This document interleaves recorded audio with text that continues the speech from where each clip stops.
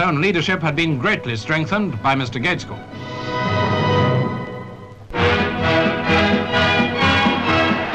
Great Britain in white jerseys met New Zealand at Headingley in the first test of the tour.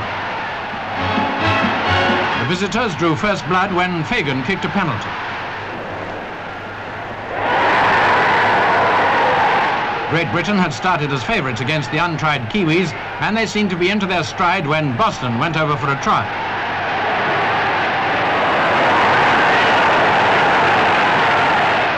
Rhodes converted. This may have looked like a pointer to the result.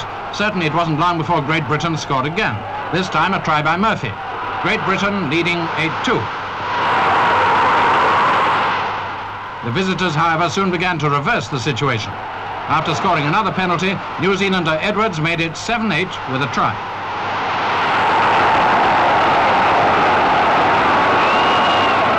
Conversion plus another converted try sent New Zealand into the second half leading 14-8. A try by Reidy put the Kiwis further ahead. Fagan converted. Great Britain weren't finished yet, and there were plenty of tough exchanges as the battle raged. Just watch them as they bludgeon their way towards the Kiwi line.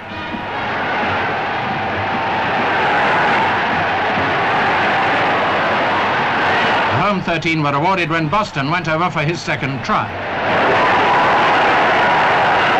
To many people's surprise, however, New Zealand were right on top and two more tries, both converted, resulted in their great victory, 29 to 11.